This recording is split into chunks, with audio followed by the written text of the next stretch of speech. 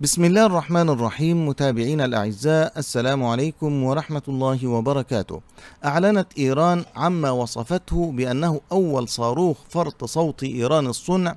سرعته القصوى أسرع من 13 إلى 15 مرة من الصوت. فهل فتاح قادر فعلا على ضرب الكيان الصهيوني؟ كان الرئيس الإيراني إبراهيم رئيسي وقائد الحرس الثوري الإيراني العميد أمير علي حاجي زادة والمرشد الأعلى علي خامنئي قد حضروا يوم الثلاثاء السادس من يونيو حزيران 2023 حفلا للكشف عن صاروخ فتاح البالستي الجديد متوسط المدى والذي تقول طهران أن بإمكانه إصابة أهداف على بعد 870 ميلا أي 1400 كيلو تقريبا وهو ما يكفي لضرب أهداف داخل إسرائيل انطلاقا من غرب إيران.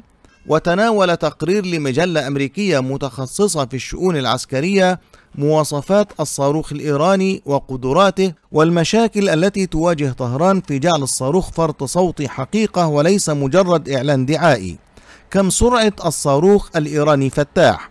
تم الإعلان عن الصاروخ الأسود ذي الرأس المدبب باعتباره أول صاروخ فرط صوتي إيراني.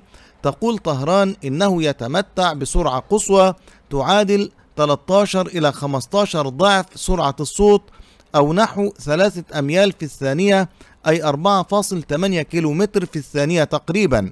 وفيما بدا كما لو أنها محاولة لإزالة أي شك بشأن الهدف من السلاح تتباهى لوحة إعلانات متعددة الطوابق أقيمت في وسط طهران بأن السلاح الجديد سيكون قادرا على ضرب إسرائيل في غضون 400 ثانية أي 7.6 دقائق من إطلاقه.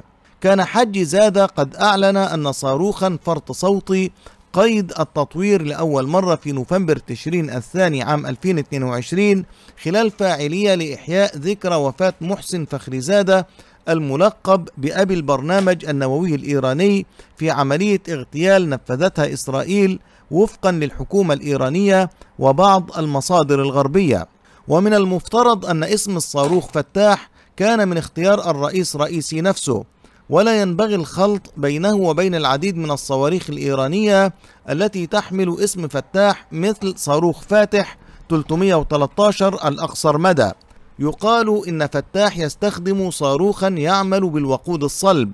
عكس الصواريخ التي تعمل بالوقود السائل ما يعني أنه يمكن تحميله مسبقا وإبقاؤه في وضع الاستعداد للإطلاق خلال وقت قصير.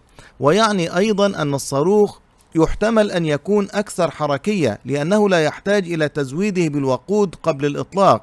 وهو ما قد يساعد قدرته على النجاة من الضربات. وتظهر الصور أن الصاروخ يملك مجموعتين من أربعة أجنحة للمناورة. ويستخدم معززا صاروخيا كرويا مشابها للصاروخ أرش 24 الذي تستخدمه مركبات إطلاق الأقمار الصناعية الإيرانية هل يمكن لصاروخ إيران أن يضرب الكيان الصهيوني؟ قال حجزادة في خطابه إن الصاروخ لا يمكن تدميره بأي صاروخ آخر بسبب الطريقة التي يتحرك بها في اتجاهات مختلفة وعلى ارتفاعات مختلفة وبحسب تقرير الموقع الأمريكي فإنه من الملائم دائما أخذ الادعاءات التكنولوجية الإيرانية ببعض الشك لأن البلاد أقامت في مناسبات عديدة نماذج بالأحجام الطبيعية لمقاتلات شبحية وقدمتها مباشرة للجمهور باعتبارها طائرة حقيقية تطير وتكمل ذلك بصور معدلة للمقاتلات وهي تحلق. لكن المؤكد هو أن إيران حققت تقدما يمكن التحقق منه. في تطوير مجموعة من الصواريخ البالستية التي تمثل مزيجا من صواريخ أسرع وأطول مدى وأكثر دقة من سابقاتها. استخدمت تلك الصواريخ الجديدة في هجمات ضد تنظيم الدولة داعش والقوات الإسرائيلية والكردية والأمريكية إلى جانب بعض سابقاتها مثل صواريخ عماد وقدرة 110 وخرم شهر وقاسم سليماني البالستي متوسط المدى وهي الصواريخ التي تعادل أو تتفوق على الصاروخ فتاح في المدى لكن لديها سلبياتها الخاصة. يشرف الحرس الثوري الإيراني على القوة الصاروخية الإيرانية وبالتالي تلعب تلك القوة دورا استراتيجيا مهما في استخدام البلاد للقوة العسكرية التقليدية. كما أنها تدعم ضمنيا قدرة إيران على استخدام أي سلاح نووي قد تطوره في نهاية المطاف ويمثل هذا التطور مصدر قلق خاص لإسرائيل عدوة إيران. وأكد وزير الدفاع الإيراني العميد محمد رضا أشتياني قدرة فتاح على استخدام رؤوس حربية مختلفة لمهمات مختلفة وهي من شبه المؤكد إشارة غير مباشرة إلى الدور المزدوج التقليدي النووي على الرغم من ادعاءات إيران أن البلوتونيوم الذي وصل إلى درجة الاستخدام العسكري والذي تخصبه لمستويات أعلى وأعلى لا يهدف إلى الحصول على سلاح نووي. والآن ومع تباهي إيران بأن فتاح صاروخ فرط صوتي فإنها تنضم إلى مجال لإنتاج أسلحة عصرية بدأته روسيا والصين. لكن في الوقت نفسه كثيرا ما يستخدم مصطلح فرط صوتي بصورة خادعة للإشارة إلى تكنولوجيا أكثر تقدما مما هو موجود حقا. يشير مصطلح فرط صوتي بحكم التعريف إلى صاروخ طائرة يحلق بسرعة تضاهي أو تزيد على خمسة أضعاف سرعة الصوت أو ميل في الثانية 1.6 كيلومتر في الثانية تقريبا. وهذا بكل تأكيد سريع لكن الصواريخ البالستية تعزز نفسها بسرعات تفوق سرعة الصوت منذ خمسينيات وستينيات القرن الماضي.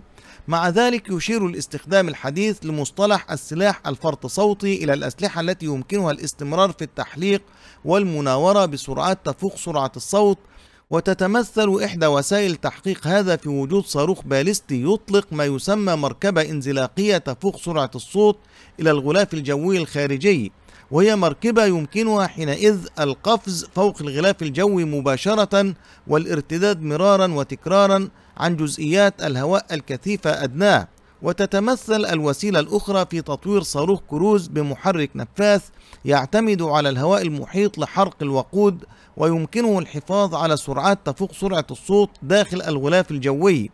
الأمر المهم في هذه الأسلحة ليس سرعتها القصوى، بل تنبع جاذبيتها من حفاظها على سرعتها ومسارها الأكثر انبساطا وبالتالي الأكثر شبحيا والقدرة على المناورة وتجنب الدخول في مجال نصف قطر الاشتباك الأمثل للدفاعات الجوية كل ذلك يعقد مهمة إصابتها بالصواريخ الاعتراضية هل يمكن إسقاط الصاروخ الإيراني؟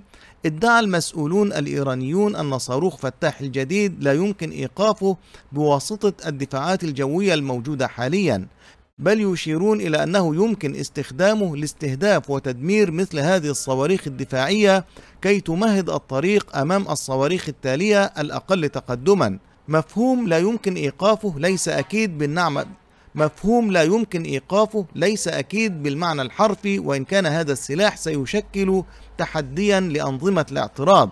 فصاروخ كينجال الروسي فرط الصوتي كان يوصف بأنه لا يمكن إيقافه. وحين بدأت روسيا إلقاء تلك الصواريخ على أوكرانيا 2022 بدأ أن تلك السمعة مستحقة.